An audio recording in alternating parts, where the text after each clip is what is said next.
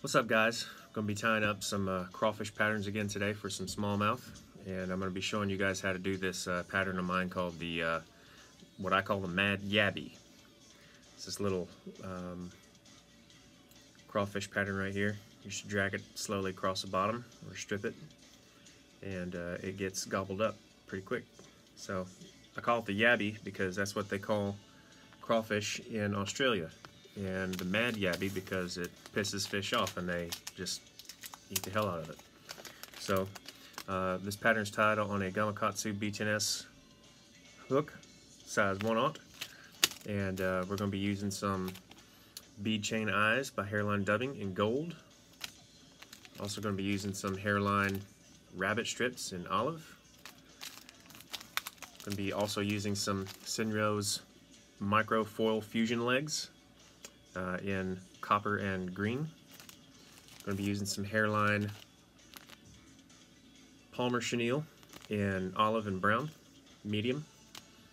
And we're finally going to be capping it off with one of these EP brushes, Senyo Chromatic 3 inch wide in chub color. It's kind of a brown, coppery olive color.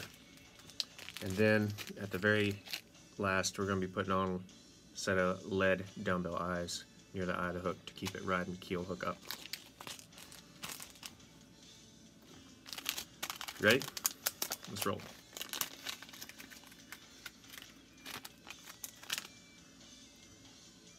Put our hook in the vise. And I'm going to start this thread right at the point of the hook. Let's go ahead and capture that on. Come down to about where the barb starts. We're going to cut off our excess thread. And we're going to take that gold bead chain and we're going to cut off a little section for the eyes of our fly. Just like this. Take a little pair of wire cutters and we're just going to cut off two little beads.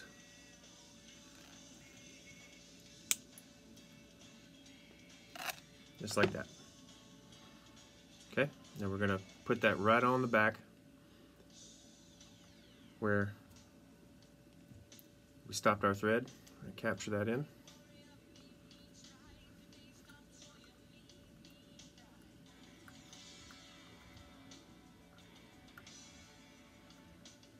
Extra thread over top of that. Get on nice and tight. That back up.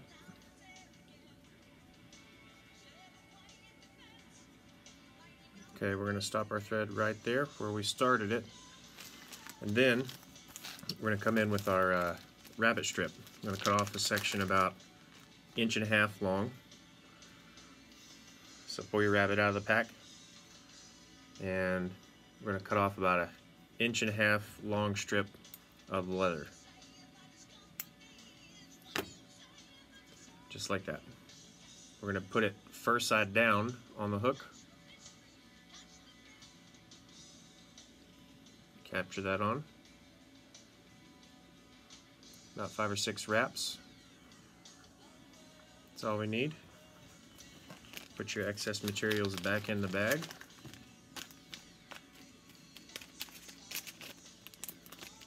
And then next we're going to come over top of that rabbit strip with some of our foil legs and they come in a big wide band like this. So what we're going to do is we're going to cut it in half going up this way to separate you know half of the legs off. So pull it apart and find the center. And we're going to snip that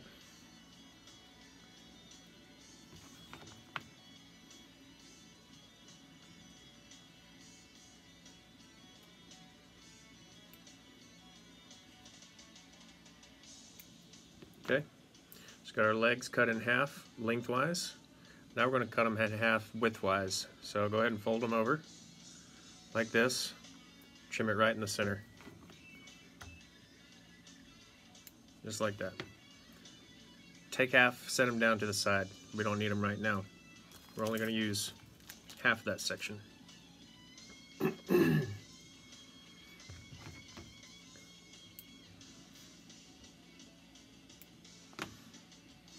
And so what I'm going to do is I'm going to put them this copper side and the green side.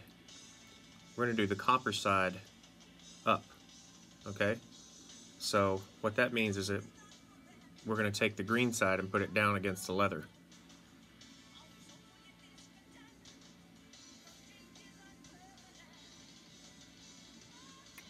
So the copper side is up, just like this.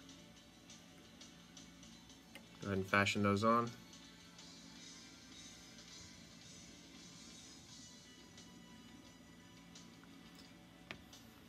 And pull the excess up, trim it off, throw that away. Go ahead and wrap your thread up to your eye.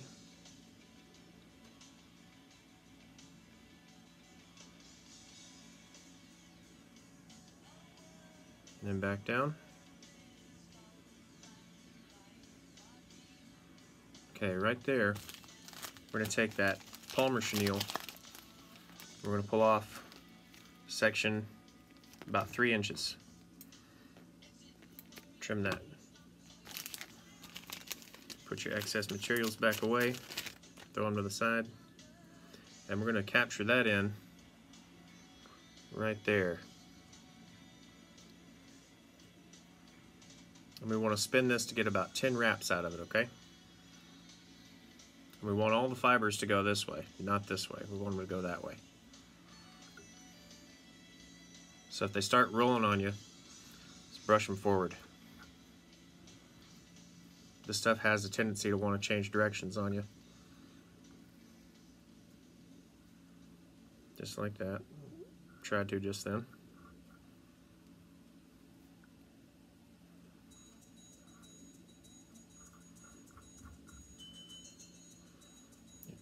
One more wrap.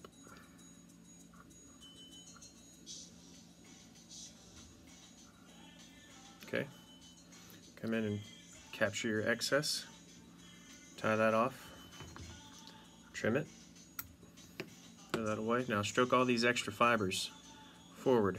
Capture those in. Get those couple of thread locks. Alright. Now, next we're going to take that uh, EP Senyo Chromatic brush and we're going to pull one out of the packet. I've already got one prepped here.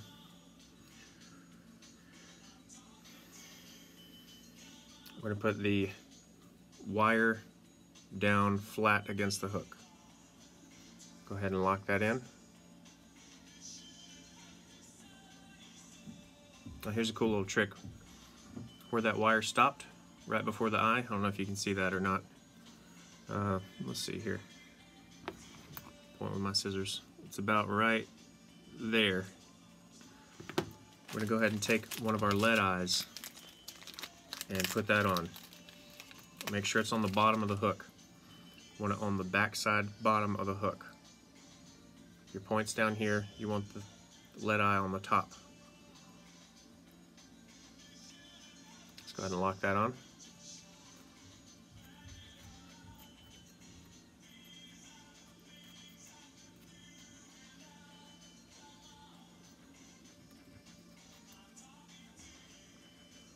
Wrap up, back down, a couple more turns. Okay, nice and tight.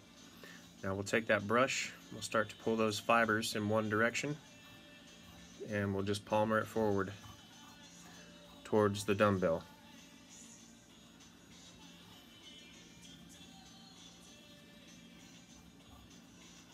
Stroke those fibers forward towards the hook point with every turn so you're not wrapping this stuff on itself.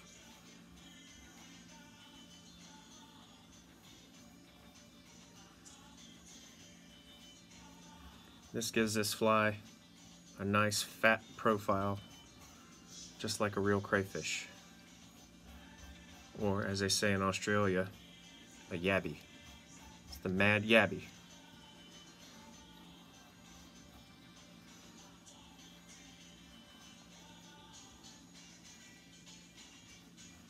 You want to get it real tight up against the lead eyes there. So work it in there nice and tight. Okay, once you get to this point, I want you to stop. And if you have any hackle pliers, go ahead and clip them on right here just to kind of give it some tension. And then we're going to roll the vise over. And this is where those other set of foil legs come into play. So right here, we're going to fashion those on right on top of the dumbbells, okay?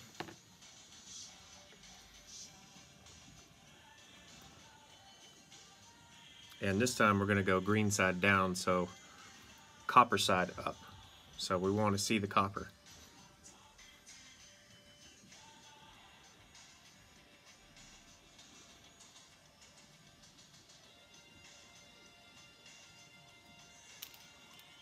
Try to get them centered on as best as you can.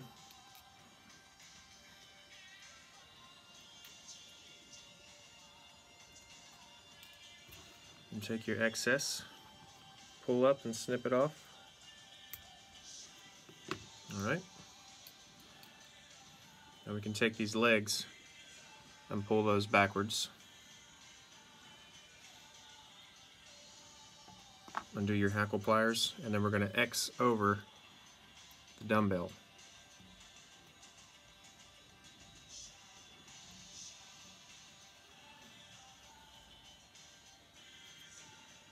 Just like that.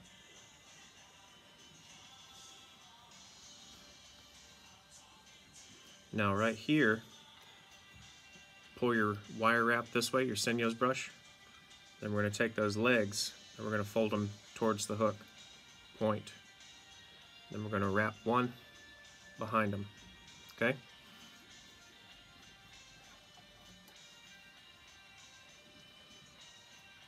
Stroke all that material forward. Wrap one more time.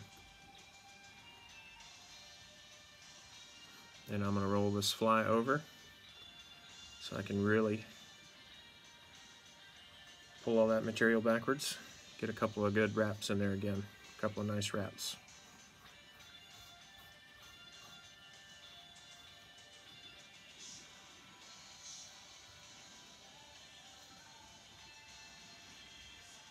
And one more should do it.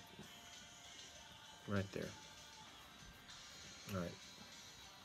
Now we're going to tie off this right there. And take a nice pair of crappy scissors, craft scissors. These are these are the crappy ones. You don't want to use your nice trimming scissors to cut that wire.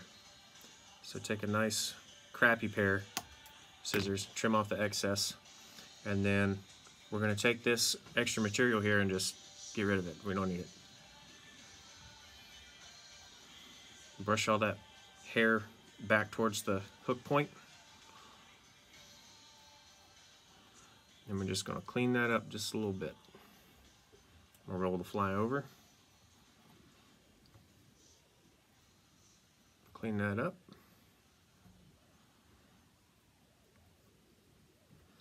I'm going to take some thread cement. I like to use Loon. And I'm going to brush on just a little bit onto my thread.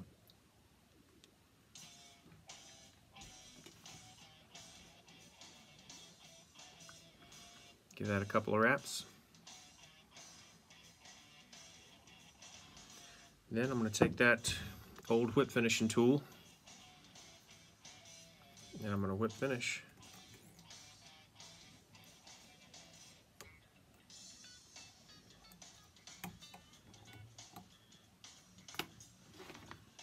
Nice scissors to trim. And then any loose stragglers I'm going to trim up around the hook eye. Take your little comb that you got. I like to use a comb. Gonna brush all that hair forward towards the hook point.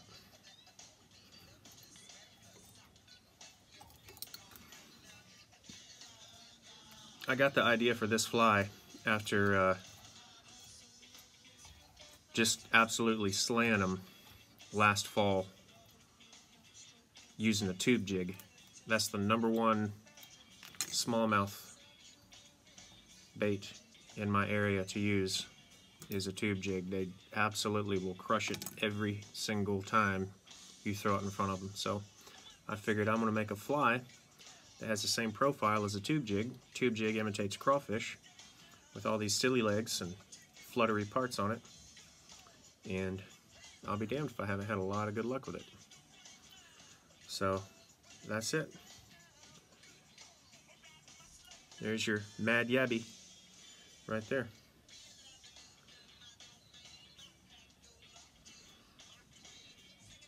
Looks like a crayfish, a little goby, a little sculpin, but uh, it's got these nice little fluttery foil legs there that uh, those smallies just love to smash, man. So, anyways, that's it. I hope you guys enjoyed the video. Uh, spin one up and um, let me know if you liked the video. Give it a comment, give it a thumbs up, and uh, you guys, good luck. Peace.